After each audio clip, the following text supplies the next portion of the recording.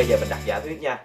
Với Dạ. Hương đi nếu được quay lại năm 18 tuổi hồi nãy em nói rằng là vào năm 18, 19, 20 gì đó thì Dạ. em nổi lên với một cái tên là với hot girl anh thẻ. Mọi người gọi em như vậy. Thì nếu như được quay lại năm 18 tuổi em có muốn quay về đó làm cái điều gì thay đổi điều gì hay không? Dạ em nếu mà được quay trở lại năm 18 tuổi Em sẽ đi mua vé số. Chi về em? Em em sẽ ờm, tìm cái số chung của năm đó em mua. Ờ. Không em mới giỡn á. Thực Ờ. ra nếu mà em ờ, được quay trở lại năm 18 tuổi á Thì cái mong ước lớn nhất của em là em ờ, muốn được học bác sĩ.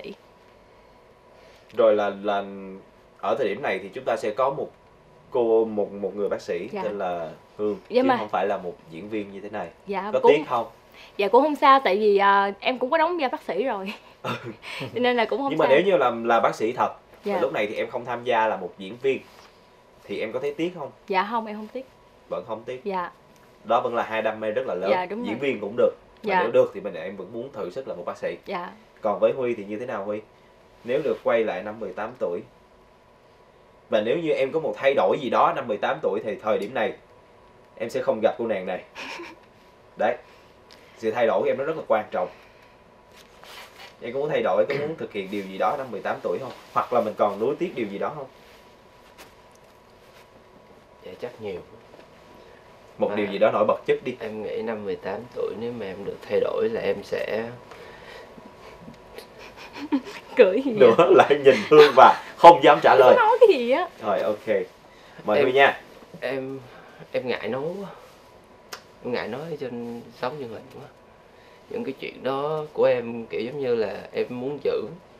Và vậy thì có cái câu chuyện nào mà em nghĩ rằng là có những câu chuyện mình giữ lại có những câu chuyện nào mà mình cũng có thể chia sẻ được cho quý vị khán giả?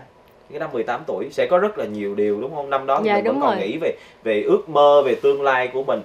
Hồi trước thì Huy có nghĩ rằng là hồi trước mình sẽ làm một cái công việc gì đó mà không phải là một diễn viên này không?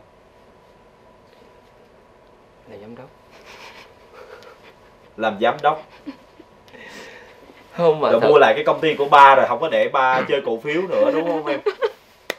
Đúng không? quá, anh thấy là hình hình như quá. giống giống rồi đó. Dạ, cũng dạ đúng rồi. Nhưng mà thật sự thì những cái câu chuyện mà năm em đã từng trải qua á thật sự là em không có đủ mà tự tin hoặc là gọi là khả năng để em ngồi em kể lại. Em nói như thế nào anh muốn nghe một chút xíu nó nó nó đại khái đi. À mình không cần phải kể rõ câu chuyện chi tiết đó ra nó là một cái gì đó nó không muốn nhắc lại hay như thế nào? Không phải là em không muốn nhắc lại nhưng mà em muốn để cho em biết. Xong rồi em sẽ kể em- một cái điều đó cho cho quý vị khán giả nghe một cái đúng rồi. thời điểm khác. Không phải một thời điểm khác em muốn kể qua bằng phim. À em sẽ muốn Một kể. phim à đây sẽ là một à, ờ, bí mật mà huy muốn giữ lại Dạ. để Dạ. à, một bộ phim là gần nhất có thể Dạ. Huy sẽ thể hiện cái điều đó ra. Vậy thì bây giờ cho anh hỏi nè ờ, với cái thời điểm hiện tại nè em đã hài lòng với tất cả mọi thứ mình đang có chưa? Dạ chưa. Vẫn chưa luôn. Chưa. Em muốn như thế nào nữa?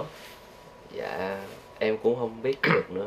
Nhiều khi em có được nó rồi nhưng mà em vẫn muốn được nhiều hơn. À, em em không có thể nào hài lòng nói được. chung là mình sẽ không bao giờ hài lòng với cái hiện tại vẫn muốn là nó sẽ phát triển Dạ. hơn hơn hơn nữa. Còn với tài thì như thế nào? Hình như tài là người nhỏ tuổi nhất trong ba khách mời ngày hôm nay của chúng ta đúng không? em nhỏ nhất. Chị Hương. À, em à, nhỏ nhất à, Hương là nhỏ hơn. Dạ. Ừ, Dạ. đó. Thì à, với năm 18 tuổi nếu được quay trở lại em muốn thay đổi điều gì nhất? À, tại vì bộ phim của mình là năm đó chúng ta 18 mà em sẽ không thay đổi điều gì hết. Không thay đổi điều gì hết. Tại sao? Vì em nghĩ là trong cuộc đời của mỗi chúng ta ai cũng sẽ có những cái số phận và cách của của mình. Ai cũng sẽ có một cái ờ, cuộc sống và hoàn cảnh khác nhau. Vì ờ, em nghĩ là người hiện đại mình nên chấp nhận cái cái số phận đó để mình tiếp tục để sau này mình sẽ nhìn lại cái quá khứ và cái hiện tại đó mình sẽ cảm thấy tự hào về cái tuổi thanh xuân của mình quá đẹp. Hay là dù đó là một cái tuổi thanh xuân mình không tốt đẹp thì đó là số số phận của sắp đặt đã sắp đặt của ông trời. Ok nói như là ừm, 18 tuổi mọi chuyện đã qua rồi thì mình sẽ không muốn Dạ, quay đúng. lại nữa. Nói chung là với hiện tại như thế này mình đã hài lòng và mình sẽ mong muốn còn phát triển Dạ, hơn phát nữa triển hơn. chứ sẽ không muốn thay đổi gì ở quá khứ. Dạ. đúng không? À, ở đây thì à, tại vì lỡ hứa bây giờ rất nhiều bình luận huy nhé à, nhanh anh ơi em chưa thấy anh huy đăng. Bạn yến trần thì đó là facebook chính của anh huy là lương huy nha mọi người. Rồi sao không có về anh? Huy chưa đăng hình lên đợi, đợi, em chút em đang đăng nè À rồi ok, à, tại vì anh muốn check lại một nữa thì uh, quý vị khán giả đợi một xíu nữa nhé.